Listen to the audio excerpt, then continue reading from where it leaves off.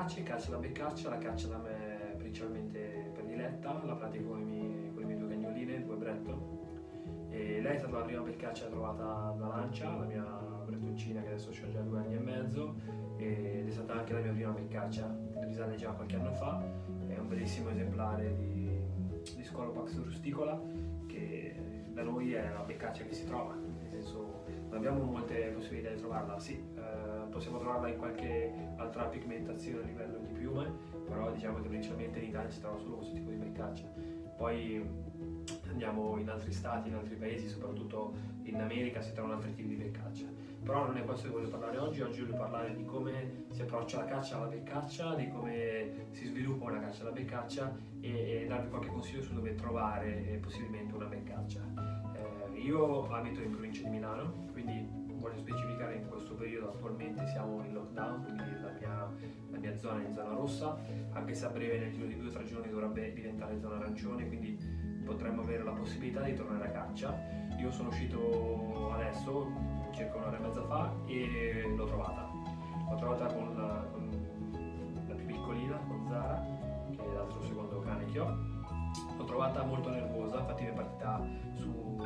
ferma dal cane da 6-7 metri. Diciamo che da me c'erano circa 20-25 metri, quindi appena ha sentito l'avvicinarsi eh, del passo pesante, quindi io ho sentito che mi stavo avvicinando, lei ha alzato i tacchi, se n'è andata. È un bosco dove l'ho trovata oggi, un bosco che so che lì eh, in questo periodo qua si trovano. E fortunatamente in questo periodo c'è da dire che non fa ancora molto freddo, quindi non è ancora arrivato quella gelata forte che ce le porta via. Mm, infatti il bosco si presenta con eh, bello stracco di foglie morbide, c'è un bel terreno morbido sotto, poi abbiamo la fortuna che questo bosco dove la pratico, dove la caccio io, e questo è un consiglio, cercate sempre boschi che ai suoi lati o dalle sue estremità possono, possono, possono esserci dei campi di incolto, dei campi comunque dove c'è molta, molto verde. Infatti il campo dove, che interfaccia davanti a, al bosco è un campo arato da poco dove è già cresciuta un'erba, un'erba medica molto bassa, si parla di un'erba medica di 5-6 cm, quindi la beccaccia tende ad andare lì anche durante la notte a pasturare e poi entrare nel bosco. Poi la fortuna di questo bosco è che sia a est che a sud eh, pres- ci sono altri due boschetti che di solito quando mi parte lì è facile che la trovi rimessa negli altri boschi. Eh, da noi si dice che la beccaccia fa il 7, si dice che fa il 7 perché la beccaccia tende a partire e andare sempre avanti, quindi sempre andare, cerca sempre di andare a nord, poi prende sempre a est e torna a sud, quindi molte volte la beccaccia anziché andarla a ricercare davanti deve andare a cercarla dietro alle spalle.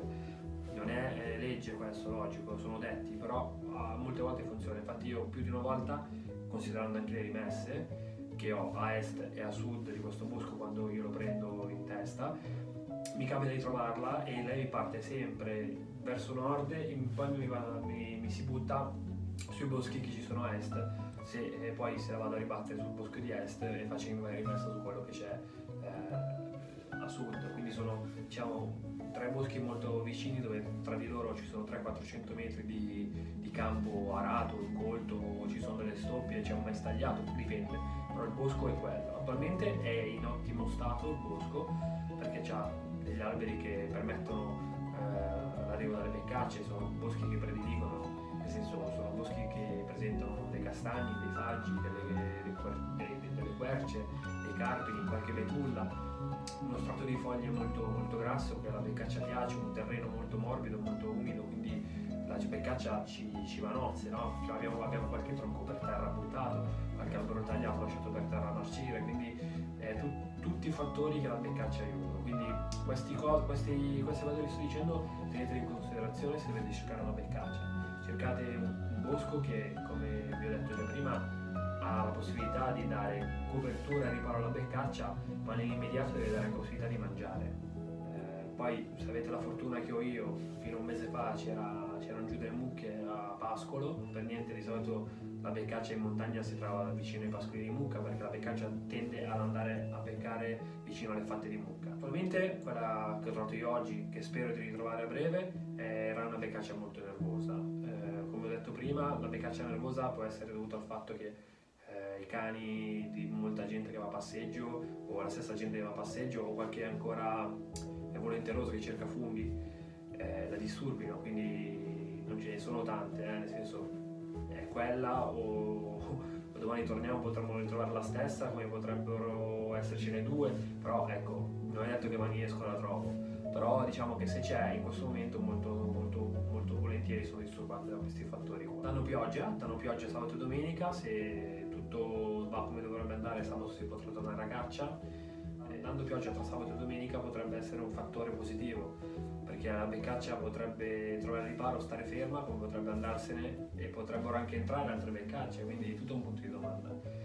Io personalmente la caccia alla beccaccia, parliamo di fucili adesso, la pratico con il mio fucile, eh, un Ildiz in calibro 410 sovrapposto. Eh, in prima canna ho uno strozzatore da 5 stelle e in seconda canna uno strozzatore da 3 stelle e non sono come quelli espertoni che dicono che con 410 bisogna sparare con due stelle e una stella. Sì, sarebbe etico, però se stiamo andando a caccia di beccacce all'interno di un bosco, parla, sparare con due stelle e una stella, a parte che se la prendi vicino la distruggi, e la beccaccia si sa delicata, basta anche un pallino, la si tocca, viene giù. Quindi preferisco avere una rosata molto larga, considerando anche la mole di pallini che c'è all'interno del cartuccio del 410 che non è così elevata quindi diciamo che con questa rosata molto larga è anche più facile sbagliarla perché tra un pallino e l'altro c'è molto distanziamento. Però abbiamo una copertura un po' più larga quindi lì dove andiamo a sfondare magari ci parte dentro dei rami andiamo a sfondare sui rami è facile che qualche pallino lo prenda. Invece se spariamo con una stella o due stelle è facile che se la si prende la si distrugge. Come è facile anche sbagliarla perché la strozzatura è molto più stretta. Ricordiamoci che la beccaccia si caccia dentro il bosco. Quindi io prediligo questo tipo di caccia alla beccaccia, a parte che col, col cane da ferma la pratico, la pratico praticamente ormai solo con 410. Logico che se sono in un campo arato, all'aperto, nel pavese, tra risaie, a cercare beccaccini, mi partono lunghi, allora lì opto anch'io per un due stelle e una stella. Tiri lunghi, a 30-40 metri ci provo, no? Però se vado a beccacci in un bosco, io prima canna opto sempre per le 5 stelle e in seconda canna un 3 stelle. Parliamo di cartucce. Con che cartuccia io pratico la caccia alla beccaccia? Col col calibro 410, eh, sono onesto, ne ho provate tantissime. Eh, l'unica cartuccia che veramente mi ha dato delle grandi soddisfazioni, eh, ho provato a prenderla anche con altre cartucce, però attualmente quella che preferisco di più di tutte è lei, è la Fiber 410, è una cartuccia con borra in feltro, e, diciamo è una delle poche cartucce che c'è per, me, per il 410 per chi vuole praticare la caccia alla beccaccia, perché è una cartuccia che ha è studiata per la piccola migratoria, anche se in questo caso, come la prediligo io in piombo 8 in piombo 9, la, la uso per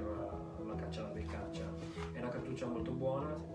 è una cartuccia molto molto molto performante, io mi trovo da Dio e se avete la possibilità di provarla, provatela perché veramente ne rimarrete soddisfatti. Io la uso solo per la caccia alla beccaccia, mentre sulla caccia al beccaccino tendo ad usare una cartuccia con borra contenitrice, eh, quindi uso classiche cartucce di Casafiocchi che sono ottime. E per oggi è tutto, io vi auguro di tornare presto a caccia, chi lo sta facendo beati voi, e sempre uniti, sempre amanti della nostra passione, che è una grande grande cosa. Quindi un bocca al lupo a tutti e un saluto.